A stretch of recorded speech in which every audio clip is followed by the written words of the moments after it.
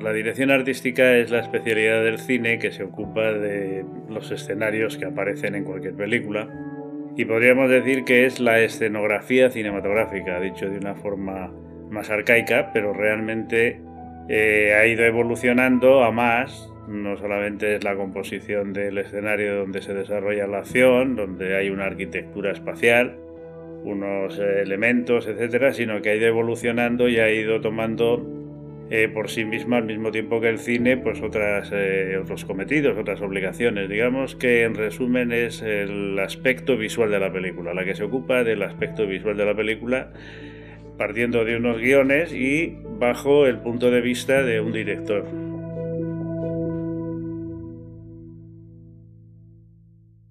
Mi ideal era ser pintor.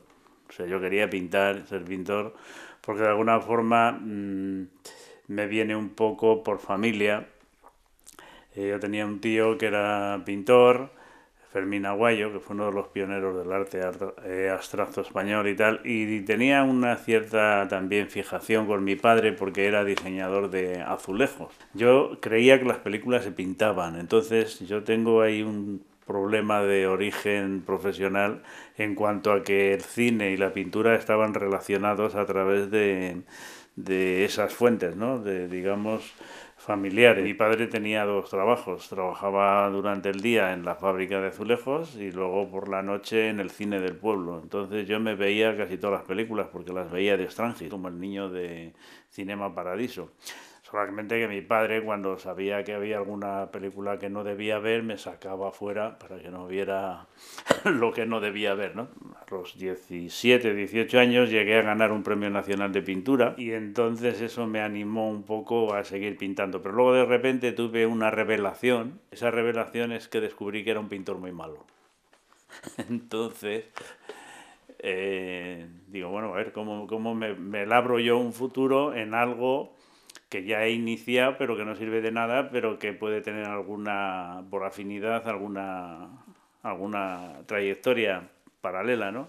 Y entonces, pues em, estudié, ya había terminado el bachillerato, me fui a trabajar a Holanda a través de un amigo que hacía prácticas, era estudiante de geología y hacía prácticas en mi pueblo, en Aranda de Duero, y coincidió cuando cuando yo gané ese premio de pintura y entonces dijo, bueno, porque aquí no haces nada en un pueblo que no tiene ninguna salida, te tienes que ir de aquí. Y él, me ofreció irme a su, a su país, a Holanda. Bueno, me fue muy bien, fui allí, estuve un tiempo y eh, empecé a trabajar en la NOS, en la televisión holandesa, pero como pintor de decorado. Conocí lo que es la, la escenografía mm, para la imagen y entonces me volví a España y me puse a estudiar. Estudié, eh, hice paralelamente, además, me dio por lo que no había hecho en años, porque había dejado de estudiar una vez que terminé el bachillerato, me fui y no pensaba en seguir estudiando. Pero después eh, aquello pues me despejó un poco la mente en el sentido de que necesitaba una preparación académica, en el sentido, digamos, mm, eh, más profesional. Y entonces hice arquitectura de interiores, hice diseño superior, hice escenografía. En 5 o 6 años hice 4 o 5 cosas. Ya venía prácticamente recomendado la televisión holandesa, entré a trabajar en la televisión española. Entré en el taller de escenografía y ahí estuve 12 años. Pasé al cine porque dentro del departamento de, de televisión de, de, de series era el departamento de filmados, se hacían filmadas en 35 milímetros como, como una película. Bueno, el proceso es común prácticamente a todos los directores artísticos y en general a todos los que han de participar previamente en la, digamos, anteproducción de un rodaje. O sea, parte todo de un guion, de un encargo que te puede hacer un director o un productor, y a partir del guion, bueno, pues empieza a pensar en cómo va a ser la película. Yo tengo mi método, yo supongo que todos coincidimos, pero cada uno puede que aporte una cosa diferente. Yo un guion, cuando me llega lo leo tres veces. La primera vez lo leo de forma que pueda entender globalmente la película y ver también el aspecto dramático, es decir, en qué puntos o en qué secuencias concretas, sube o baja la intensidad o el clima dramático. La segunda lectura ya es un poco más profesional, un poco más porque es el principio de digamos de que uno se siente partícipe, por lo tanto eh, se empieza ya a, ver en color, en colores, a ver forma, a documentarse sobre la época en la que se desarrolla, si es que es de época, a, pensar un poco ya en los escenarios concretos que describe el guion.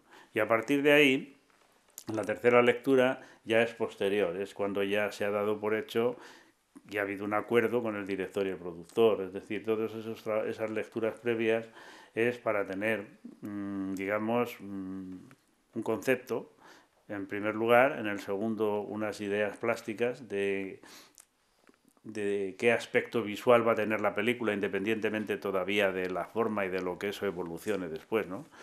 Y con eso se va, a, lógicamente, se habla con el director, porque al fin y al cabo nosotros trabajamos eh, para un director. La academia elige a Dragón Rapid de Félix Murcia.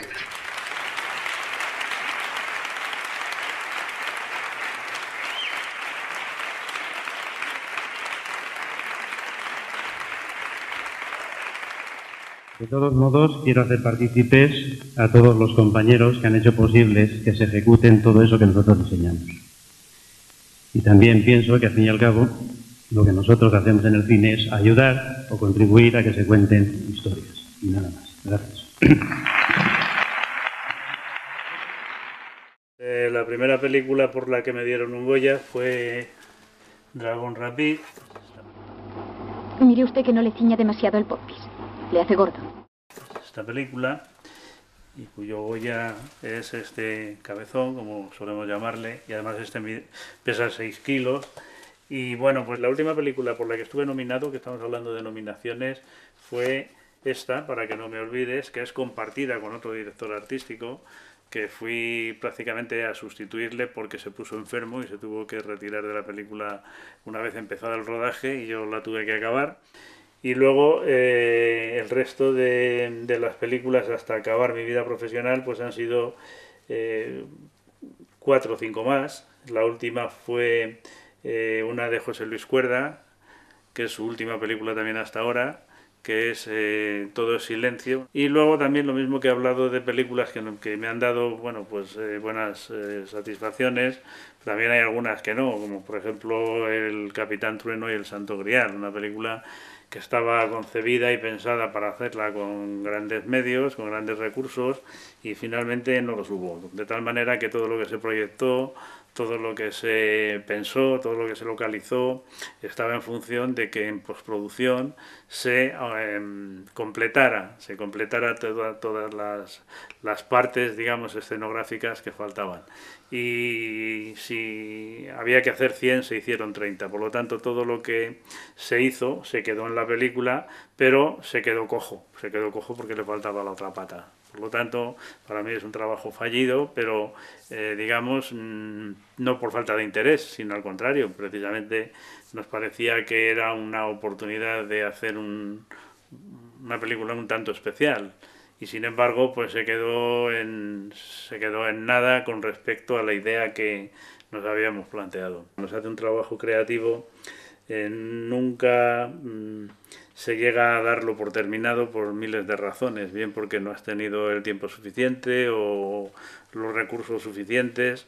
De tal manera que mm, desde mi punto de vista quizá otras personas no otros compañeros otros colegas eh, para mí ninguna película de las que yo haya hecho, se puede decir que, que me ha producido la sensación de haber hecho una obra redonda. Entre que yo me he jubilado por edad y el cine me ha jubilado por, por falta de proyectos, pues esos son los comienzos y los finales de, de mi trayectoria realmente pero lo que es mi profesión se resume en una frase, una frase que además la, la, digo mucho, y es que hay que saber todo lo que se sabe para inventarse lo que no se sabe, y que nadie discrepe.